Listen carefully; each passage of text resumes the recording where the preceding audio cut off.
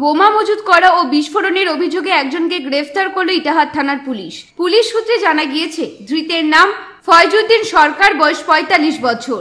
বাড়ি ইটাহার থানার গুলন্দার দুই গ্রাম পঞ্চায়েতের পাড়ের গ্রামে। ধৃতদের বিরুদ্ধে ভারতীয় দণ্ডবিধি তিনশো ছিয়াশি, দুশো ছত্রিশ সহ বিস্ফোরক আইনে মামলা রুজু করেছে পুলিশ।